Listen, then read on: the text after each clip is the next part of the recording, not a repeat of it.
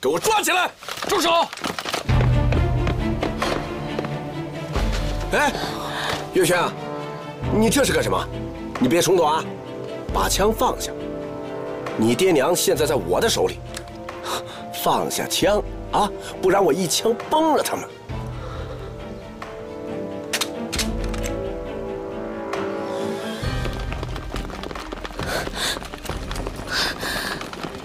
龙墨花，你也来了。看来这出戏变得更热闹了啊！石继周，你丧尽天良，逼着你儿子跟你一起做坏事，你知道你现在都把他给逼死了吗？什么？提文死了？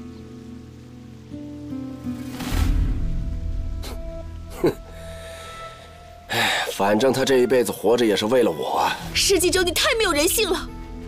我已经知道了，就是你害死了我爹娘。我今天一定要为他们报仇。顾海棠，你说这话要有凭有据啊，没有证据就是诬陷呐！是你儿子亲口检举的你，你还有什么可狡辩的？龙墨花，胡副官、马副官的兵马就要包围整个昆阳了，你爹他早就无力回天，你何必再跟朗家的人为伍呢？你们的奸计早就被我爹识破了，胡副官和马副官早就被围剿了。现在该投降的人应该是你吧？啊？这怎么可能啊？哎哎哎，月轩月轩，你你听我说啊，朗思年，是朗思年抢走我心爱的女人，我深爱着胭脂，我当年忍辱负重，苦心经营着十行路，就是为了养活你。和你娘啊！我想给你们一个幸福快乐的日子，是朗家的人呐，是他们毁掉了我们三个人一生的幸福，毁掉了你娘的一生啊！闭嘴！杀死胭脂的人就是你。贱女人！救我！背着我不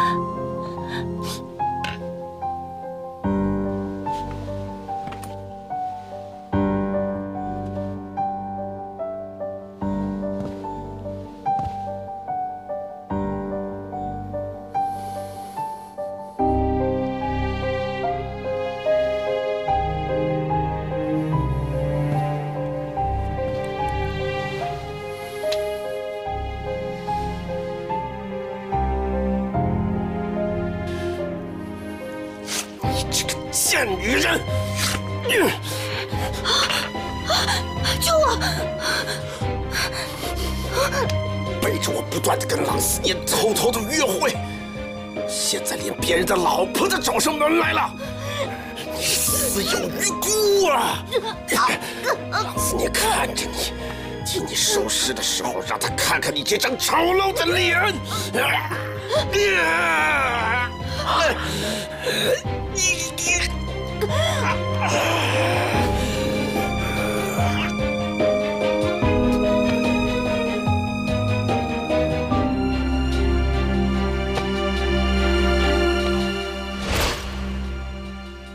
是你！我走的时候与我擦肩而过的人是你。我只是和胭脂发生了争执。我走的时候胭脂还活着，她只是昏迷，对不对？哼，是，是我杀了胭脂。因为我不想再看到胭脂一辈子跟郎思年纠缠不清，我是为了要成全他。石继周，你执念太深。自从胭脂嫁给你之后，我跟胭脂已经再也没有任何关系了。你怎么能够伤害一条无辜生命？郎思年，你不要再在我面前再装什么清高了。我最痛恨的就是你这张伪善的脸。好。既然你们现在都知道事情的真相了，我施继周无话可说。但你们要拿我的命，恐怕没那么简单。过来，老爷，偷偷给我让开，否则我一枪打死他。石继周，你是逃不掉的，快把他给我拿下！谁敢？石继周，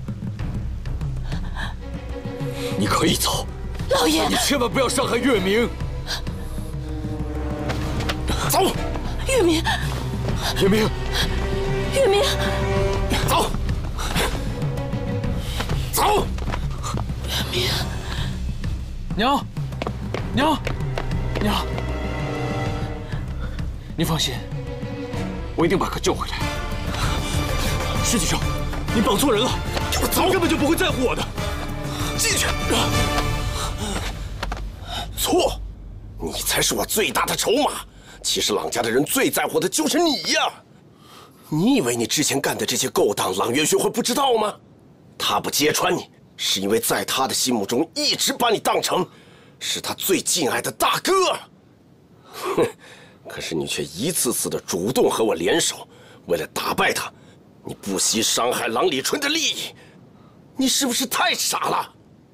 原本你可以在郎里春大展拳脚的，可是现在这一切，全都让你自己给毁了。你说，你自己是不是很愚蠢，很可悲呀、哼！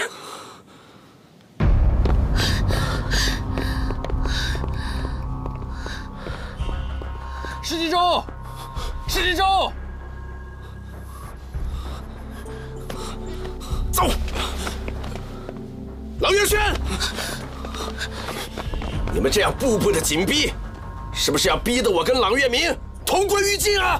石继洲，你把我哥放了，我来替他。哎呦，还真是兄弟情深呐！哼，郎月明，你看到了没有啊？你这个弟弟是怎么对你的？到现在还这么帮你，你是怎么对他的？啊？你还有没有脸活在这个世上啊？我干脆一枪送你下地狱！哎，施一舟，你听我说，只要你把我哥放了，咱们之前的恩怨一笔勾销。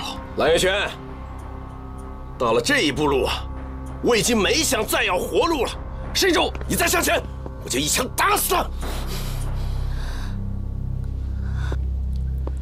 你不是一直想要芙蓉膏的配方吗？我给你。你说的是真的吗？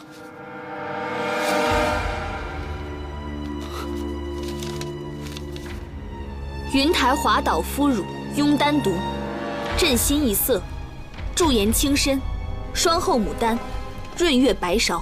不可能！你们两个是不是又串通了要骗我？当年顾顺奇死在我的眼前，这张配方不可能在你的手里，你别想骗我！石继周，你终于承认了，就是你杀死了我爹。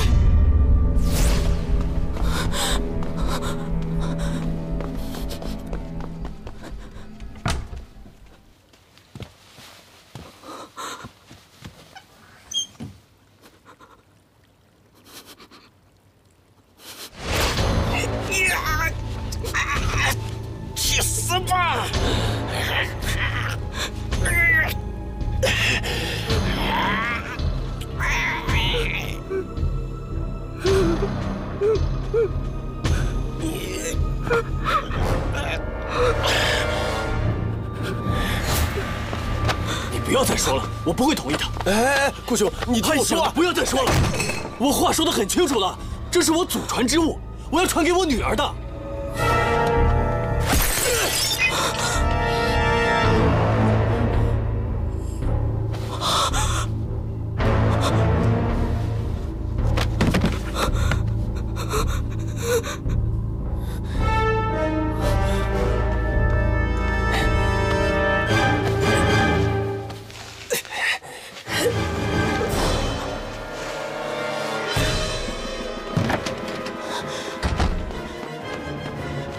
醒醒，醒醒，醒醒，醒醒！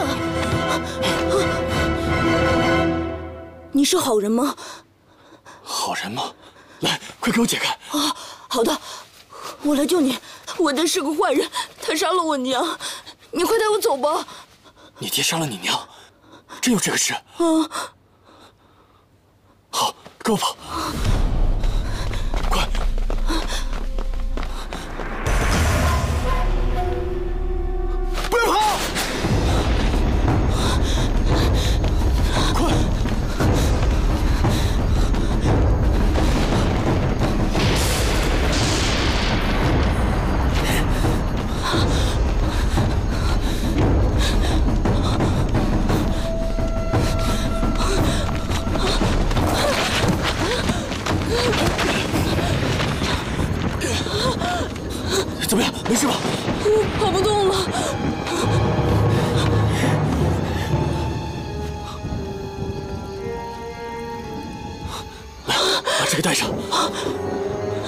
记住，我们两个分头跑。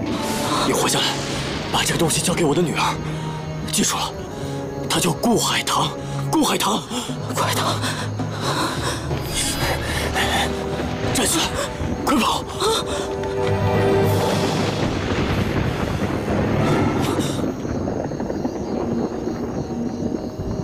拿过来。做梦！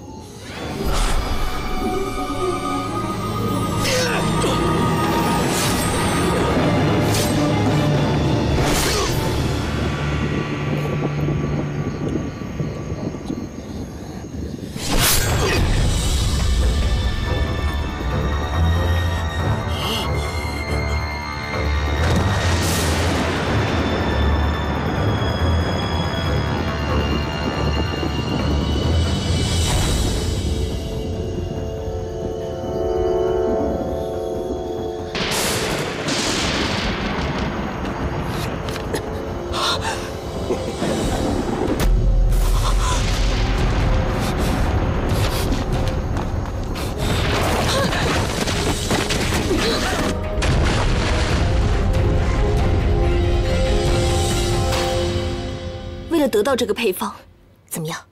不惜杀了我爹，还把罪行嫁祸给朗家。你以为这样能够成功吗？幸好老天有眼，让这个配方到了朗家，是我爹的安排，让我和月轩相遇，就是为了让我们查明真相，替他报仇。少啰嗦，赶紧把配方交给我！海棠，不要！少给我啰嗦！我来。蓝轩，站住！把配方给顾海棠，让他拿过来。十几周，听到没有？要不然我一枪打死他！月轩，给我吧。小心啊！海棠，海棠。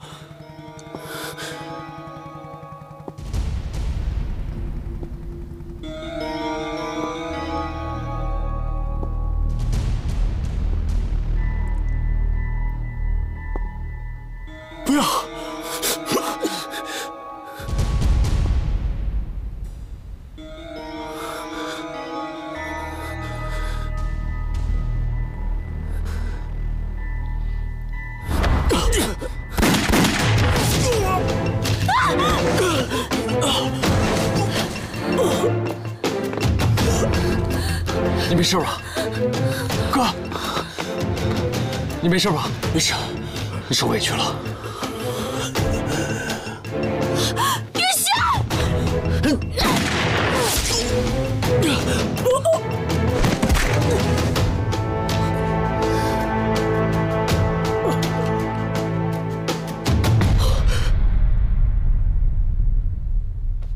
海棠，海棠，海棠海棠，海棠，海棠，海棠，海棠，海棠，你没事吧？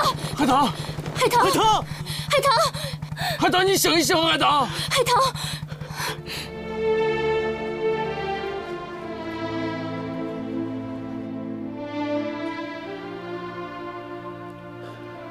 现在情况都很稳定，他的脏器没什么问题，各项指标也都正常。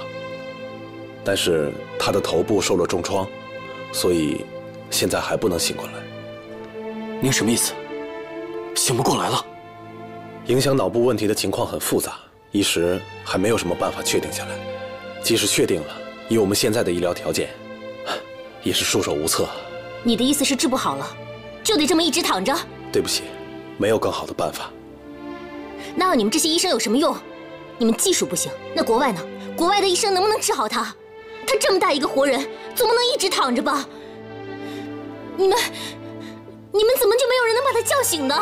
你们的心情我非常理解，但是据我所知，迄今为止，全世界还没有一例治好的病例。我本人也是从国外进修回来的，我对我的判断，我可以负全责。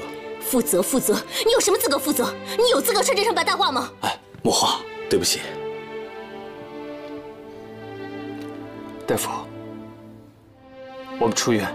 出院不行，在医院起码能保证病人的各项机能不会退化。万一出现褥疮之类的顽症，我们可以及时给他治疗。那你有多大把握能让他醒来？抱歉，我没有太大的把握。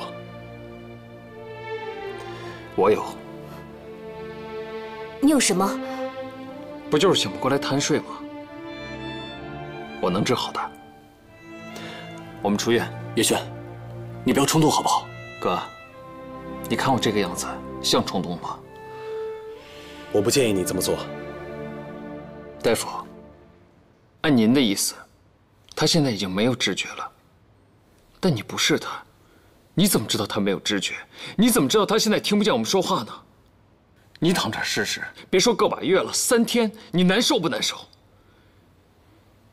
你们不是总说要给患者信心吗？要相信有奇迹吗？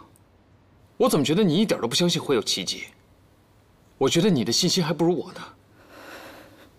大夫，这病我治了。月轩，哥，你去办一下出院手续。莫华，留下来帮我收拾收拾，咱这就走。他是不是傻了呀？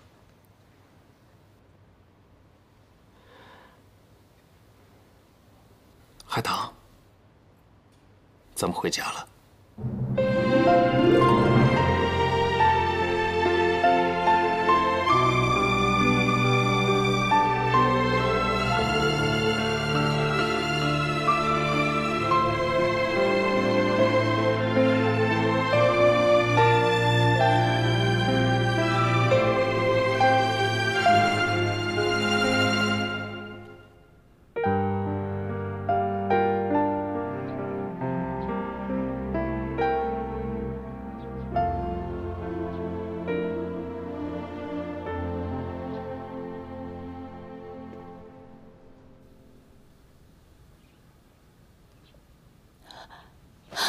月明呢？月明回来没有啊？啊放心吧，有月轩在，他一定会将月明安全的带回来。我错了，我彻彻底底的错了。当年因为我的嫉妒，姐姐害死了胭脂，让月轩从此失去了亲生母亲。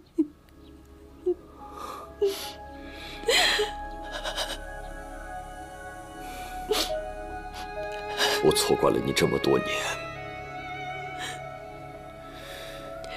当年我怎么就那么轻易信了他的话？是我自己的自私和懦弱，才造成了如今的悲剧。错的是我，我还隐藏了月轩的身份。我担心你与胭脂的关系，你会不接受月轩。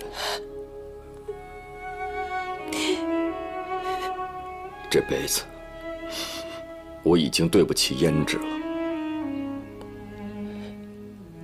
我必须将他的儿子好好抚养成人。而当时，你刚好承受着失去月圆的痛苦，所以我才出此下策，假装在路上偶遇月轩，让你收养他。我最近一直在想，虽然也许是你和胭脂所生，但我和他确实有母子情分。不管以前发生什么事，咱们一家人过了二十年，就算不是一家人，也过成了一家人。这把岁数，仍旧对过去耿耿于怀。是我真的没活明白。你能这样想，真是让我惭愧。我们夫妻这么多年，错就错在我没有早日把这段往事说开，憋在心里太久。太难受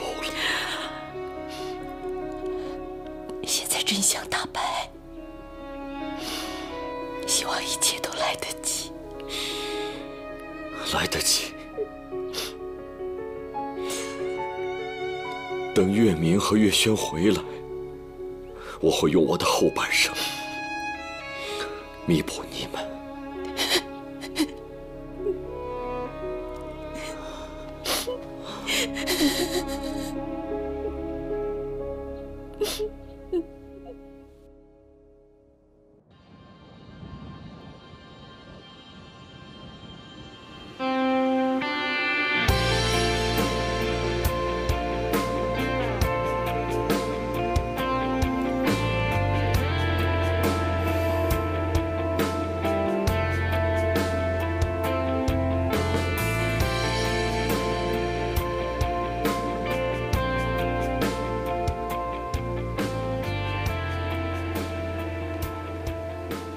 你看呐，没有你，眼前的这片星空也黯然失色。我生活中的一切，因为失去你的陪伴而索然无味。我现在真的很后悔，没有珍惜你在我身边的日子。现在，我只能在回忆中与你相会。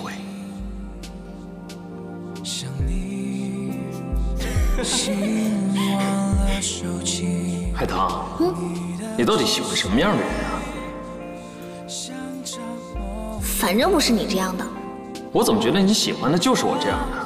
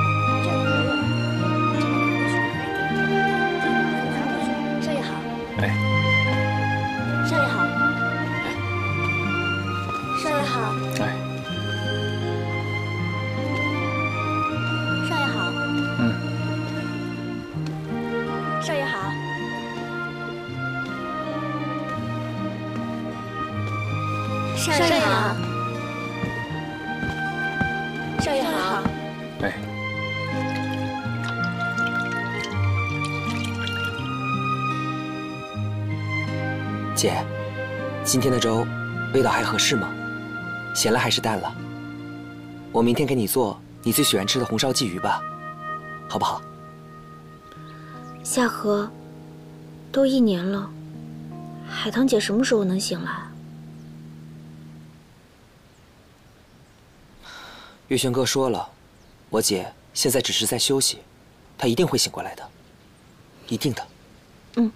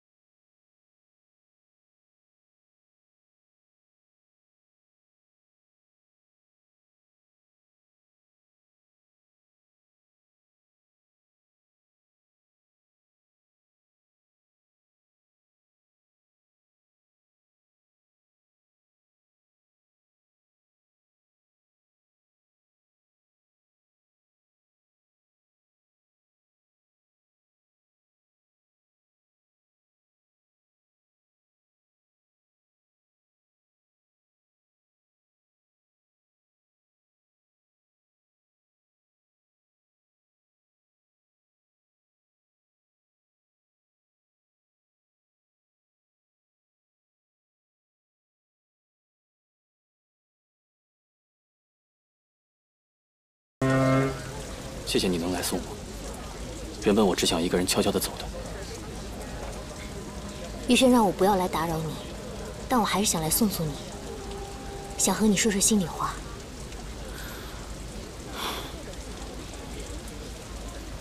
海棠躺在病床上，已经一年多了。没想到月轩能够不离不弃的照顾她。看到这一幕，我真的是很感动。我原本以为月轩只是一时冲动，没想到他对海棠用情这么深。事到如今，难道你还有什么事情放不下的吗？已经放下了，只是有的时候还会幻想，如果海棠当初没有来到昆阳，如果他们两个没有相遇，那我现在是不是已经是月轩的妻子了？如果我不那么任性，能像海棠一样善解人意，月轩会不会早一点的注意到我？但是我太自私了。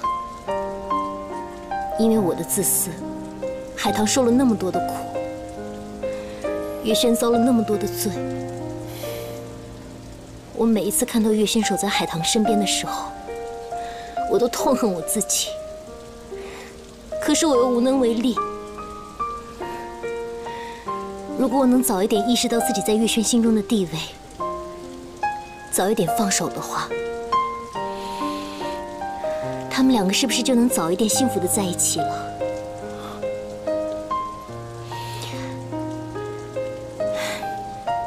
其实我挺羡慕你的月明，因为你可以离开。我的离开不是逃避，是赎罪，是我的不自量力，让郎里春百年的基业毁于一旦，也是我的心胸狭窄。让海棠和月轩这么恩爱的一对被我拆散，我已经没有脸面对大家，所以我选择悄悄的离开，想去国外学点技术，不管是十年、二十年乃至三十年，我都要把技术带回来，把郎里春推向国际市场。我也要重新振作起来了。等到海棠醒来的时候，我要让她看到一个不一样的我。那你接下来打算怎么做？难道代父从军吗？古有花木兰，今有我龙墨画。好啊，记得回来的时候带个洋妞当媳妇啊。好了，雨下这么大。早点回去吧。嗯，一路顺风。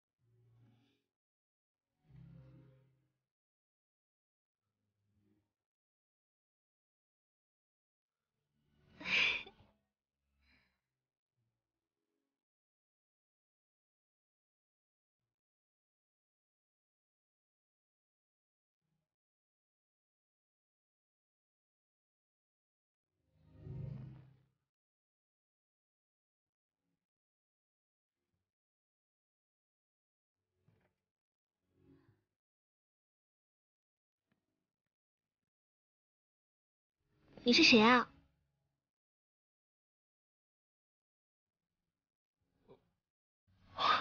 我我是月轩啊。我们认识吗？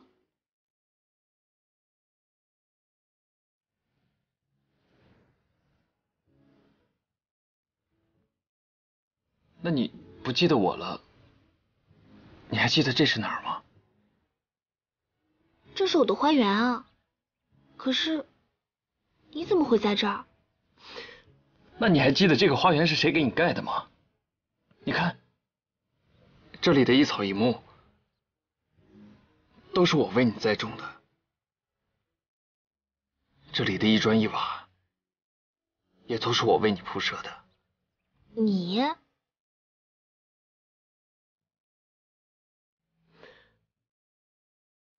我给你讲故事，你想听吗？嗯，那你快说吧，我还要回家呢。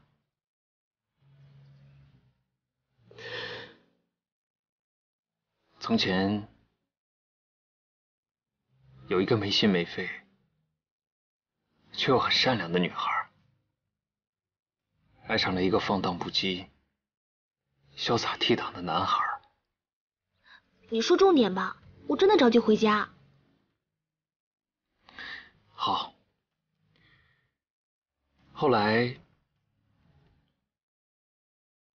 后来他们两个人相爱了。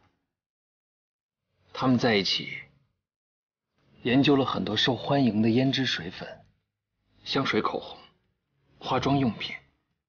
不管女孩做什么，男孩都很支持她。就算是有的时候男孩犯了错误，女孩也会毫不犹豫的原谅他。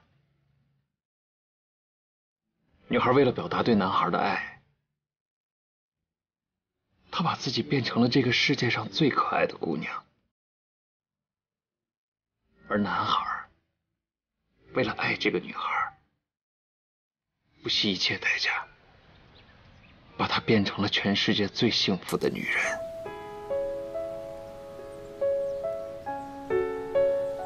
但是事与愿违，就在他们差一步就修成正果的时候。女孩离开了这个男孩，男孩苦苦的等候她，寸步不离，无时无刻不陪在她的身边，和她一起见证了三百六十五天里的日出日落。在这三百六十五天里，他没有让她吹过一次风。淋过一滴雨，没有让一粒沙尘落在他的身上，也没有一只飞虫敢在他的身上停留。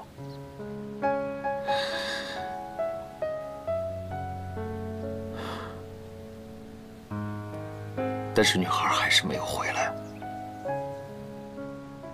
不过男孩坚信，女孩的心就在这里。所以他寸步不离，无论如何都要等他回来，因为他在他心里就像是阳光、雨露、食物、空气一样不可取代。就算有一天，这个女孩不再需要他的呵护了。不再需要他的呵护下的阳光、雨露、食物、空气了。男孩也会毫不犹豫地放弃一切，与女孩感受同样的感受，陪着女孩去他想去的地方。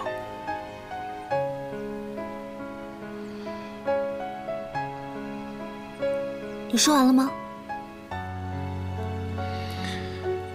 还没有，但如果你有事的话，你就先去忙。不过你记得一定要回来，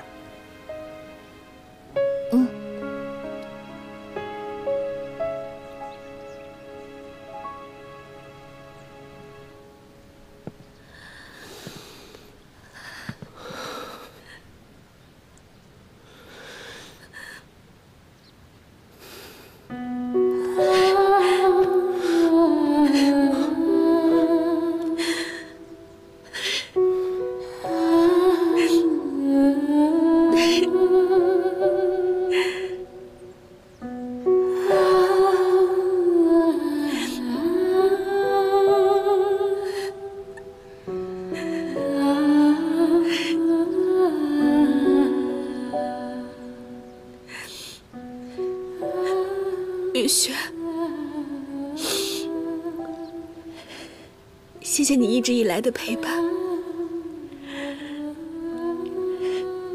这一年，你跟我说的每一句话，对我做的每一件事，我全都知道，